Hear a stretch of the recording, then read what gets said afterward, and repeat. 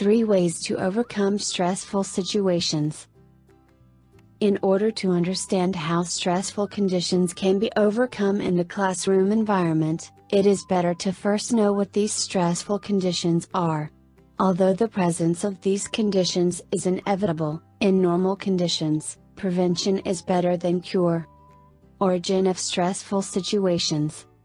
In my opinion, stressful situations in the classroom are created in two ways.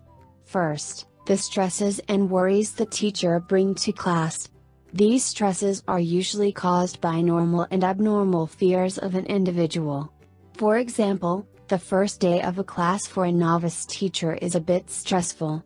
Or, if the teacher has no lesson plan, for any reason, he may also enter the classroom with stress. Second, stresses are due to unforeseen events that occur in a classroom. For example, Annoying a student by other classmates may sometimes lead to hurt one of them.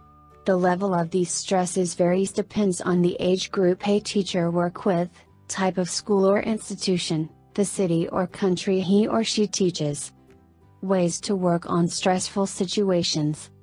In general, how to deal with and overcome stressful situations depends on three issues. First, it depends on the psychological conditions and the personality traits of the teacher.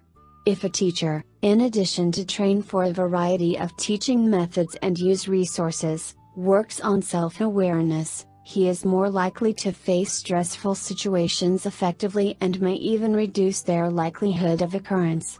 For example, if he knows what his fears are, these fears are real or just a subjective tales of unknown circumstances, what the worst possible situation is, what the plan to deal with the worst case is, or answers some questions like that, he will be able to control and manage his mind and he will be more ready to face worse situations.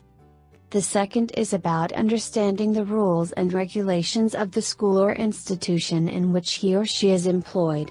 If he or she knows who can help, when problems occur in the classroom, he or she feels supported. It is a bit scary if a teacher feels lonely and thinks all the class issues are related to him, her alone, and he or she is responsible only for everything inside the class.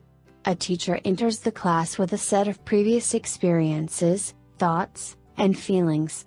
Students also come to the class with all their emotions and thoughts. Sometimes the sources of students' reactions that lead to stressful situations are in their families or events outside the classroom. These are cases in which the teacher can get the help of counselors, school administrators or other authorities. The third is the ability of a teacher for classroom management. How does he or she show students the rules of the class from the beginning of the course? How does he or she create a safe atmosphere with mutual respect? And how do they respond assertively in the necessary conditions? All of these are due to the ability of a teacher to manage the classroom which naturally leads to creating less stressful situations, or if they happen faces them more effective. Do you want to learn new teaching skills? Take a TEFL course. Speak with an ITTT advisor today to put together your personal plan for teaching English abroad. Send us an email or call us toll free at 1 800 490 0531 to speak with an ITTT advisor today.